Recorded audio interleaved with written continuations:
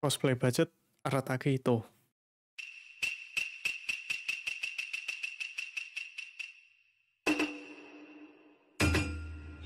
Hurrah! Halo guys, balik lagi bareng aku Fasa Kras Dan seperti yang kalian lihat di layar, aku udah dapet itonya Bagi kalian yang mau ngeliat reaksi aku waktu kemarin ngepull Silahkan aja, linknya ada di atas, aku kasih Dan ya, karena aku udah dapet itu Maka mari kita bahas Secara dari segi skillnya, timcom, terus artifak, dan lain-lain Gak usah basa-basi, langsung aja kita cus Yap, dan bagi kalian yang masih nggak tahu dia ini kitnya apa jadi si Ito ini adalah karakter Geo dan dia ini kitnya DPS ya. Terus untuk masalah senjata dia ini Claymore dan untuk masalah statnya itu yang naik apa kalau kalian naikin levelnya atau Ascension yang naik adalah critical rate jadi mirip seperti di look ya guys. Terus untuk masalah penjelasan talent aku bakal jelasin satu persatu dimulai dari normal attack-nya dulu. Normal attack-nya ini dia ada 4 consecutive strike jadi 4 hit. Di hit kedua dan keempat kalau ngehit kena musuh itu bakal nambah superlative strength sebanyak satu stack. Untuk masalah stackingnya maksimal 5 stack. Untuk masalah stackingnya itu gunanya apa? Gunanya itu adalah ngubah animation uh, charge stacknya dan charge stacknya kalau semisal kalian punya stack ya ini tidak bakal ngekonsum stamina sama sekali sedangkan kalau kalian tidak punya stack ya itu cuma perform kayak satu hit muter gitu, cerk gitu udah selesai, nggak ngapa-ngapain. Sedangkan kalau begitu kalian punya satu aja nge-stack, itu kalian at least bisa langsung kayak yang ngehantam ke lantai atau ya itulah tergantung sama animasinya itu nanti.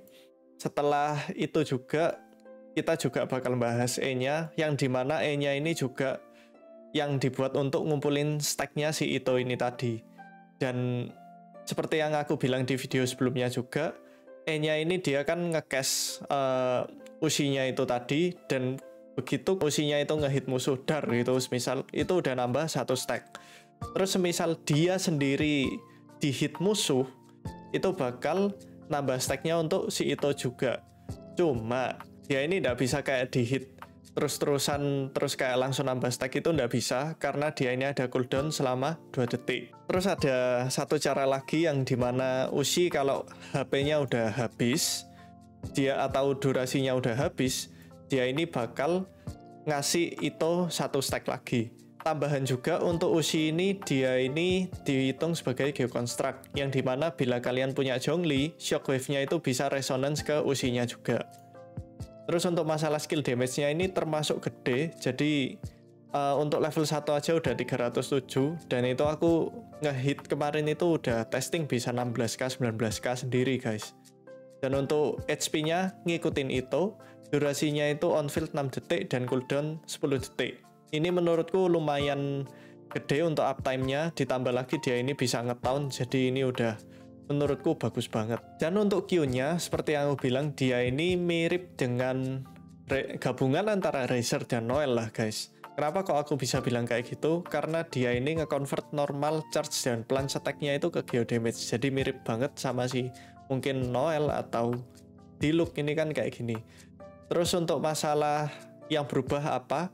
Uh, stackingnya itu bakal berubah. Jadi bukan di hit kedua dan keempat lagi untuk dapetin stack superlatifnya, melainkan di hit ke satu dan ketiga. Jadi lebih gampang lagi guys untuk dapetin superlatif strength-nya. Terus di mode ini, si Ito ini juga bakal ngurangin uh, elemental dan physical rest-nya dia sendiri sebanyak 20%. Jadi anggapannya dia lebih empuk gitu lah guys. Terus untuk masalah attack bonusnya itu dia bakal nge-convert dari defense percentage dan ini di level 6 kalian bisa lihat uh, ini udah 80,6%. Terus dia ini bakal dapat attack speed bonus lagi sebanyak 10% dan masalah duration 11 detik, cooldown 18 dan energi cost 70.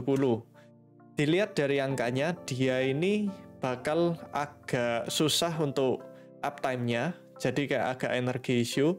Tapi berhubung nanti di masalah tim komnya dia ini lebih ke monogeo, jadi untuk masalah energi cost dia ini tidak bakal jadi masalah besar.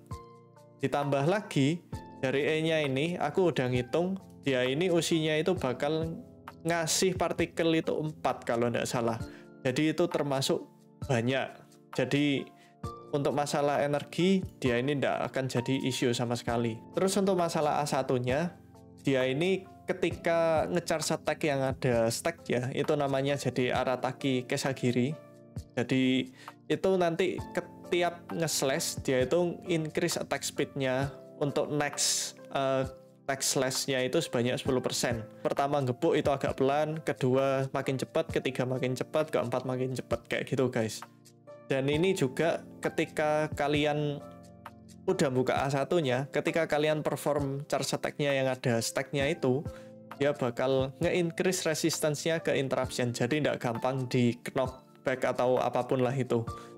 Terus untuk masalah A4-nya, jadi nanti ketika kalian perform uh, charge attack yang ada stack-nya juga, ya ini bakal uh, nambah scalingnya dari 35% itu defense-nya. Jadi damage-nya ditambahin gitulah guys untuk ini. Dan untuk pasif talent ya ini ya ini tukang uh, tebang pohon lah intinya. Untuk penjelasan constellation-nya, menurutku dia ini karakter bintang 5 yang constellation-nya bagus ya so far. Dan aku bakal jelasin dari C1-nya. C1-nya itu anggapannya ketika kalian ngulti, kalian bakal dapet free 5 stack. Tapi caranya gimana? Jadi begitu kalian nge-cash itu langsung dapat free 2 stack dan setelah satu detik kalian ada di mode ultinya itu itu bakal dapat uh, satu stack superlatif strength itu setiap setengah detik selama satu setengah uh, detik. Jadi ini setelah urutannya setelah kalian ngakes ulti terus kayak nunggu satu detik itu bakal dapat satu stack satu stack satu stack. Jadi totalnya ada 2 plus 3 makanya aku bilang 5 dan ini menurutku bagus banget yang di mana charge attack-nya itu bisa jadi lebih lama daripada sebelumnya kalau kalian yang mungkin player C0 uh, atau tidak ada constellation-nya ya ini uh, charge attack-nya ya cuma 5 hit dan selesai. Sedangkan kalau ini setelah kalian ngulti kalian dapat free 5, 5 stack lagi. Terus untuk C2-nya ya ini uh, bakal berkontribusi ke tim yang di mana setelah uh, nge-use Royal Descent ini atau ultinya ini party member itu yang elemennya juga geo bakal nge-decrease skill cooldownnya minimal satu setengah detik dan bakal nge-restore energi ke itu sebanyak 6 energi ya. Dan maksimal bisa nge-decrease sampai empat setengah detik dan energi maksimum yang bisa dibalikin ke itu itu 18 uh, partikel. Dan ini aku nggak ngerti triggernya gimana.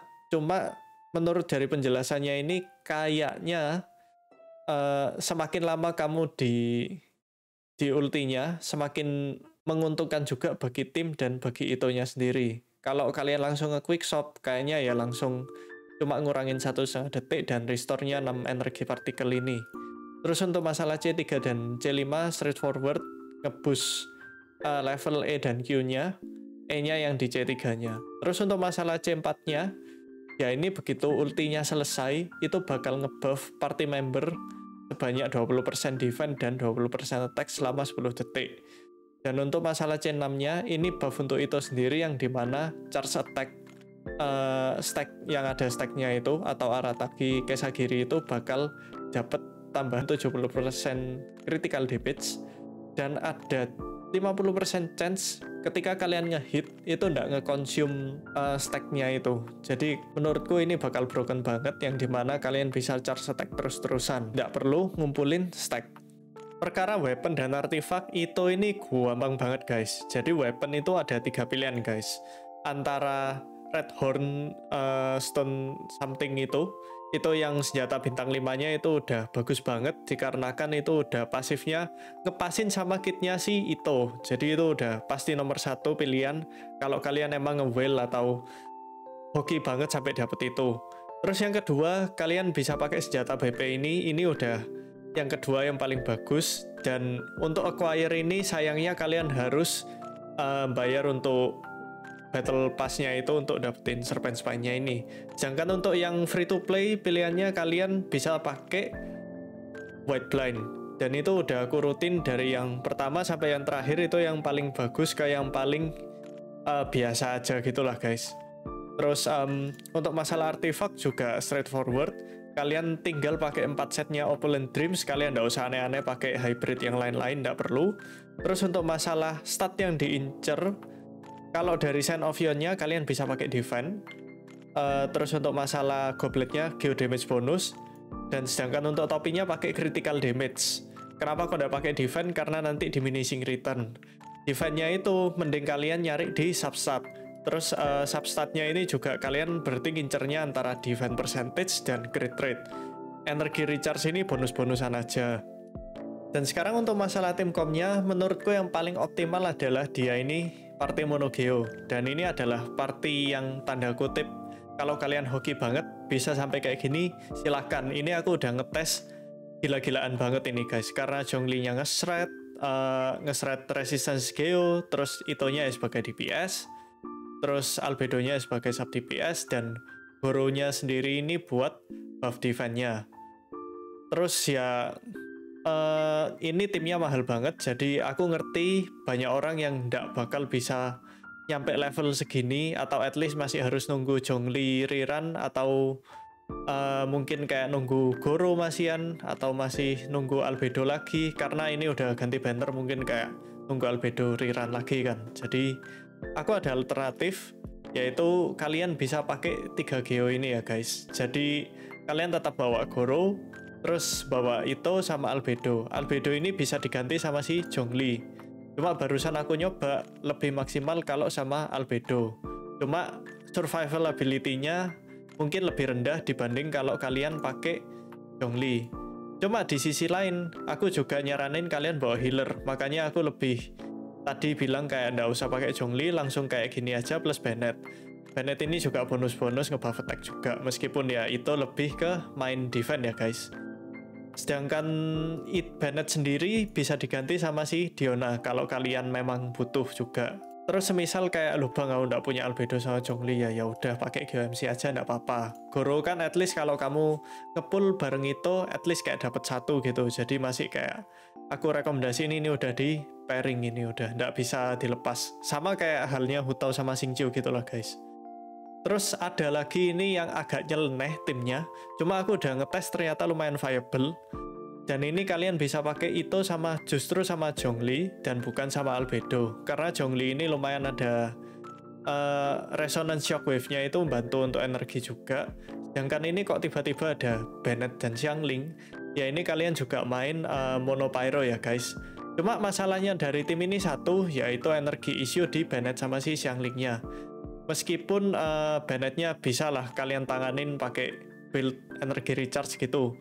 Sedangkan si Xianglingnya ini ya kalian harus nge uptime-nya itu agak susah ya guys. Sedangkan untuk masalah itu atau Zhongli-nya uptime-nya gimana, justru lebih gampang daripada Bennett sama si Xianglingnya. Terus ada lagi alternatif semisal kayak kalian nggak nge-up Bennett dan Xiangling, kalian juga bisa pakai Visual sama Beidou.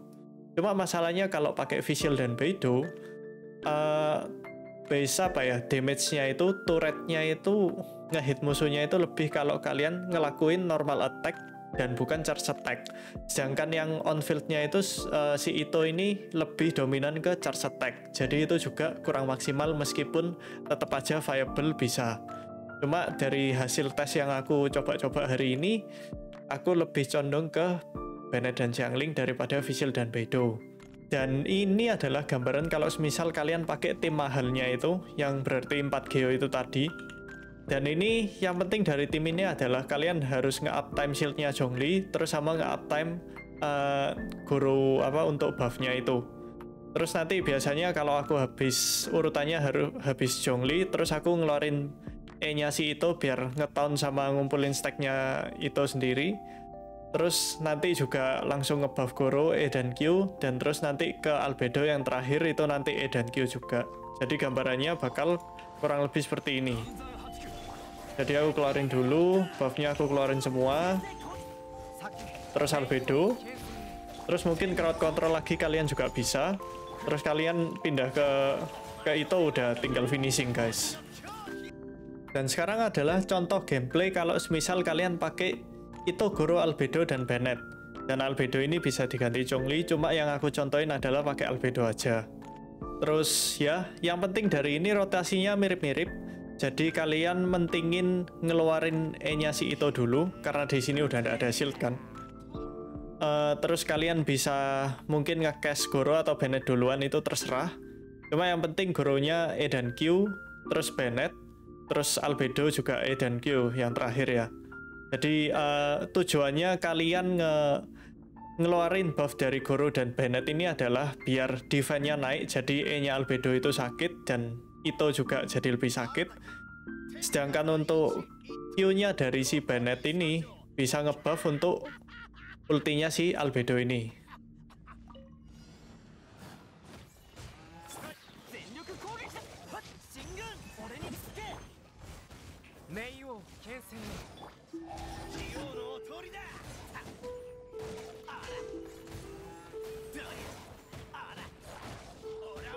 Dan sekarang adalah sekilas gameplay untuk uh, tim yang nyeleneh ya guys. Jadi kalian bisa lihat ada itu Zhongli, Bennett, dan Jiangling. Dan ini uh, sebenarnya ini lebih kayak prioritasnya ke mana ya. Kalian tinggal casting Zhongli dan Bennett itu yang pertama. Terus yang Xiangling sama itu ini akhir-akhiran aja. Mungkin itu yang ditaruh di awal-awal itu cuma E-nya itu atau si usinya itu doang. Jadi gameplaynya bakal seperti ini. Kalian yang pasti casting shieldnya dulu, ditaruh ini. Terus casting semuanya. Kalian juga bisa crowd control pakai si Zhongli. Dan kalau Zhongli kalian sakit bisa langsung ke one shot kayak gitu. Dan sisanya ini adalah tugasnya si itu Yap, sekarang mari kita bahas untuk keuntungan dan kekurangannya untuk si Ito ini. Menurutku si Ito ini sebagai DPS, Geo itu sakit banget guys, dibandingin sama mungkin yang mirip-mirip Noel ya itu udah ODPS ya. I mean karena dia bintang 5 juga kan. Kalau sama-sama kayak Noel ya, orang-orang bakal nggak mau narik itu. Terus ya uh, yang kedua pilihan weapon dan artifak itu nggak terlalu banyak. Jadi kalian nggak perlu bingung-bingung mau farming di mana atau nge-split gimana-gimana gitu. Tapi di balik keuntungannya yang aku sebutin tadi itu, kekurangannya itu juga lumayan banyak ya menurutku itu ini. Pertama, resource-nya itu mahal. Maksudnya untuk nge-build dia sendiri itu udah mahal karena ya DPS kan. Terus ya uh, menurutku dia ini juga harus jadi. Meskipun dia ini scalingnya defense ya guys. Kalian masih tetap harus nyari critical rate dan defense. Terus ditambah lagi kalian kan harus farming di opulent itu kan. Uh, untuk masalah domainnya. Yang satunya kalau uh, semisal kalian dapat artefak yang Ocean Hue yang satunya itu, kalau kalian tidak terlalu nge-build atau nyari itu, jadinya ya kalian wasting juga kan di sana. Oke okay lah, bisa di Stronghold uh, box buat kayak ganti artefak kayak gacha lagi ke artefak mungkin Gladi atau Nobles atau sebagainya. Cuma ya tetap aja ini agak buang resource. Terus yang kedua, dia ini selfish jadi seperti yang aku bilang Q-nya itu kan mirip Razer. Jadi begitu kalian switch itu langsung hilang. Dan uh, timnya ini bukan quick swap melainkan dia ini yang sustain di di apa di field itu lumayan lama. Makanya aku bilang kayak selfish. Terus yang ketiga karena selfish juga timnya itu juga tidak terlalu fleksibel. Jadi pilihannya ya antara monogeo atau uh, paling yang tadi agak ngemim ya georesonance sama nggak tahu pyro atau electro resonance itu tadi kan. Terus yang keempat juga kalian harus ngebuild tim kalian. Jadi ini mirip kasusnya kayak Chalt, di mana Chalt ini juga harus lumayan dibuild, sedangkan timnya itu juga harus dibuild. Jadi tidak cuma satu doang seperti semisal kalau kalian punya Ganyu, itu kan termasuk DPS yang murah ya. Sedangkan ini termasuk DPS yang mahal dan timnya juga mahal. Belum lagi pilihan karakternya itu juga five star yang juga mahal-mahal seperti yang tadi aku rekomendasiin idealnya adalah pakai Ito, Jongli Albedo, dan Goro. Itu udah mahal banget. Dan ya udah guys, gitu dulu untuk pembahasannya si Ito ya. Semoga informasi yang aku berikan ini membantu. Bagi yang suka ya bisalah drop like dan subs. Jangan lupa uh, pencet belnya juga biar kalau ada video atau stream uh, maksudnya aku on stream nanti kalian juga bisa dapat notification ya. Terus bagi kalian yang mungkin tidak suka ya terserah kalian mau ngapain atau semisal uh, kalian mau kayak tanya-tanya atau masih kayak mau debat ya silahkan drop aja uh, komen kalian atau kalian bisa tanya langsung waktu aku on stream ya guys. Ya udah Sampai jumpa di video atau stream berikutnya. Bye-bye.